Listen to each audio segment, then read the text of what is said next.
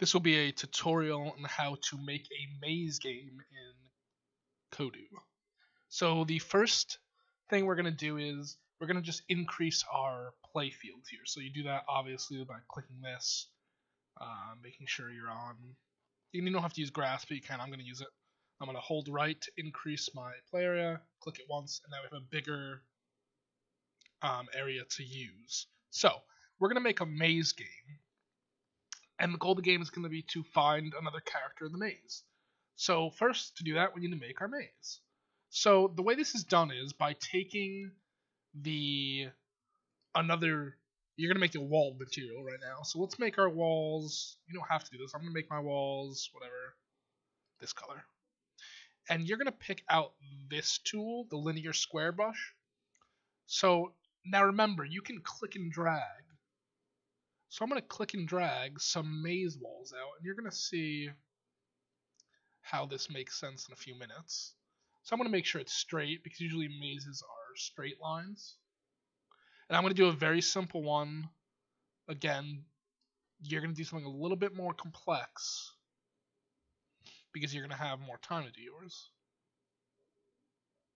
So you can see I'm drag. I'm, and remember, I, I have to increase the thickness of this maze brush so the Kodu can get through the middle. So the middle part is where he's going to be going into. So I've made a little bit of walls. I've tried to keep it as straight as possible. That one's a little crooked in the end, that's okay. So now I have my basic maze.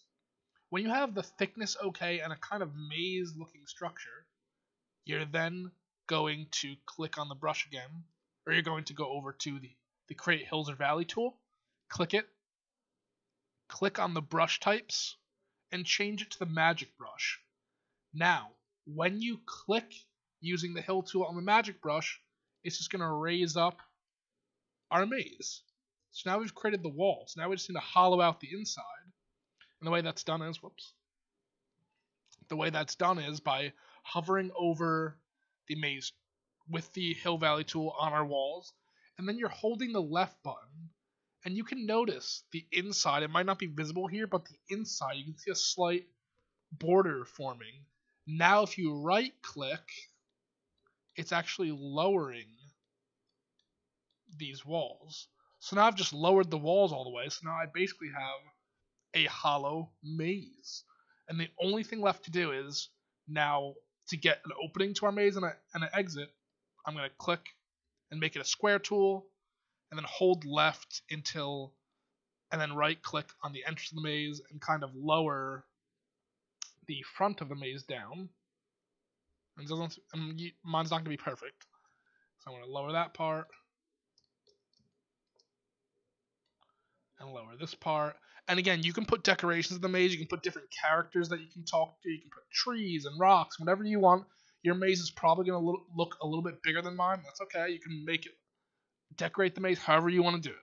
So that's the first part of the maze tutorial is physically just making the maze.